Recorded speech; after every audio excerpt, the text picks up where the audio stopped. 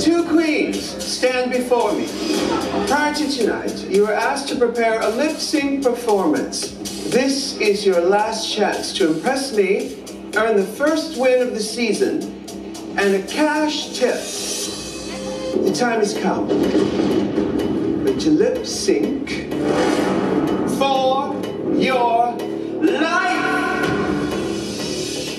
And now, presenting a formal analysis of performance modes and strategies for the lip sync for your life portion on the Emmy winning reality competition show, RuPaul's Drag Race, performed today by Edmonton based drag queen, and according to some, local legend, Lourdes, the Merry Virgin.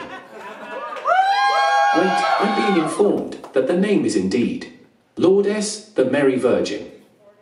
Anyway, here she is.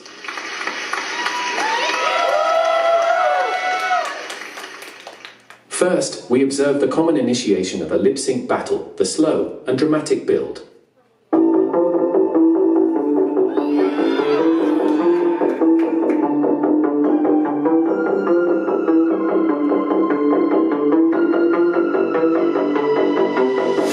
Which on occasion is followed by what some refer to as the too much too soon.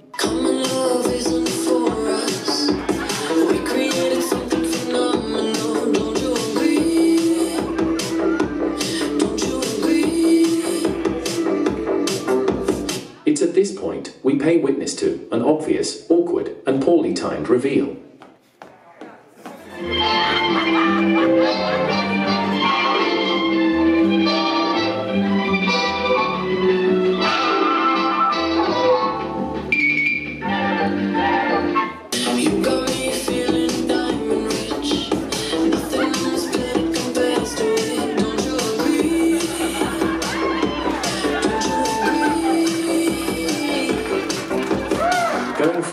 There are several options for how the Queen will progress in her strategy to win.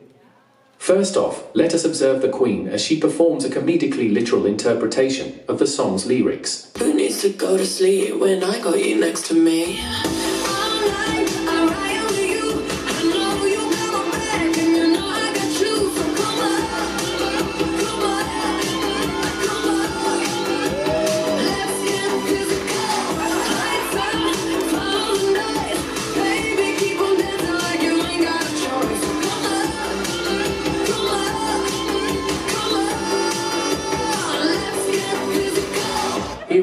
Queen as she adopts the role of a serious and intensely focused sex kitten.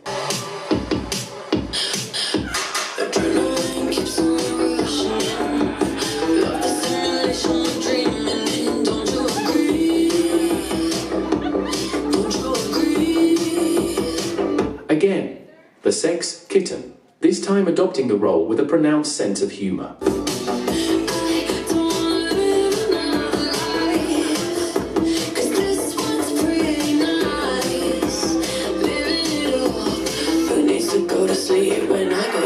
Me?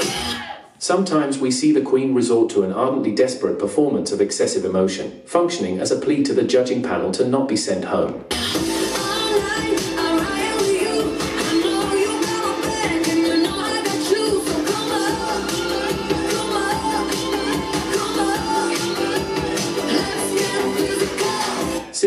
The Queen may put on a display of emotion to express her resentment over being placed in the bottom, resulting in a performatively hostile confrontation with the judging panel.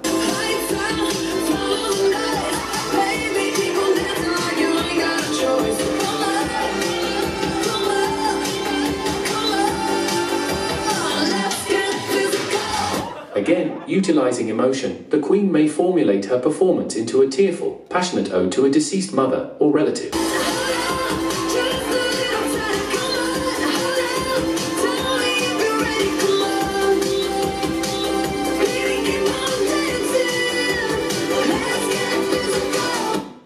Happens to be over 40 years of age, she may attempt, through dance, to communicate something to the likes of, please send me the fuck home, so I can be with my husband and two show dogs.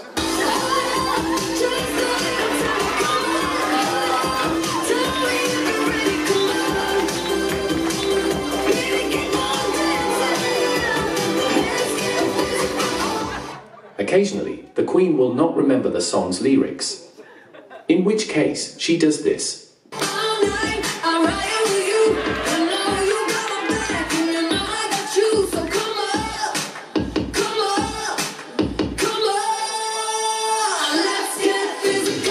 Here we see an example of the strange and quirky underdog Queen's approach to performance, in which she attempts to differentiate and or disassociate herself from the standard conventions of drag performance.